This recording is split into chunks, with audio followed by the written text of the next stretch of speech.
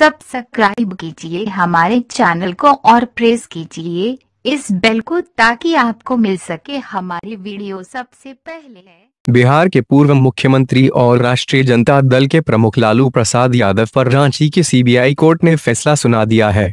देवघर चारा घोटाला केस में लालू यादव को कोर्ट ने दोषी करार दिया है, जबकि बिहार के पूर्व सीएम जगन्नाथ मिश्रा को बरी कर दिया गया है। उनके अलावा ध्रुव भगत को भी बरी कर दिया गया है। कोर्ट के इस फैसले के बाद ये तय हो गया है कि लालू यादव अब कोर्ट रूम से सीधे जेल भेजे जाएँगे। हालाँकि, उनकी सजा पर अभी फैसला नहीं दिया गया है। कोर्ट तीन जनवरी को सजा पर सुनवाई होगी। छह अभियुक्त बरी लालू यादव और पूर्व सीएम जगन्नाथ मिश्रा समेत सभी 22 अभियुक्त कोर्ट रूम पहुँचे थे। इनमें जगन्नाथ मिश्रा समेत छह अभियुक्तों को बरी कर दिया गया है, जबकि बाकी सभी को दोषी पाया गया है। लालू यादव अब कोर्ट से सीधे रांची की जेल ले जाए जाएँगे। ये है पूरा केस साल 1990 से उन्नीस सौ चौरानवे के बीच देवघर कोषागार से पशु चारे के नाम पर अवैध ढंग से नवासी लाख सत्ताईस हज़ार रुपए निकालने का आरोप है। इस दौरान लालू यादव बिहार के मुख्यमंत्री थे। हालाँकि, ये पूरा चारा घोटाला 950 करोड़ रुपए का है, जिनमें से एक देवघर कोषागार से जुड़ा केस है। इस मामले में कुल 38 लोग आरोपी थे जिनके खिलाफ सीबीआई ने 27 अक्टूबर उन्नीस सौ सतानवे को मुकदमा दर्ज किया था। आज लगभग 20 साल बाद इस मामले में फैसले की घड़ी आई है। इससे पहले चाईबासा कोषागार से 37 करोड़, सत्तर लाख रुपए अवैध ढंग से निकालने के चारा घोटाले के एक दूसरे केस में सभी आरोपियों को सजा हो चुकी है।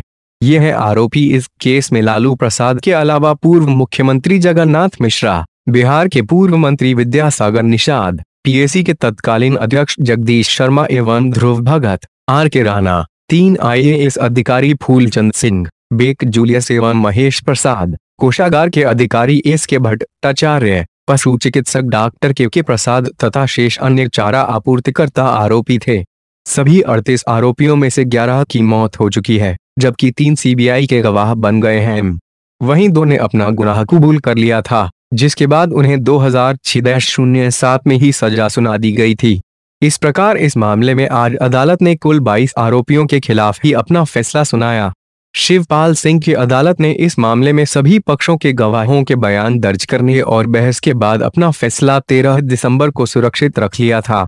कितनी हो सकती है सजा? लालू के वकील चित्रंजन प्रसाद ने बताया कि इस मामले में यदि लालू और अन्य को दोषी ठहराया जाता है तो उन्हें अधिकतम सात साल और न्यूनतम एक साल की कैद की सजा होगी।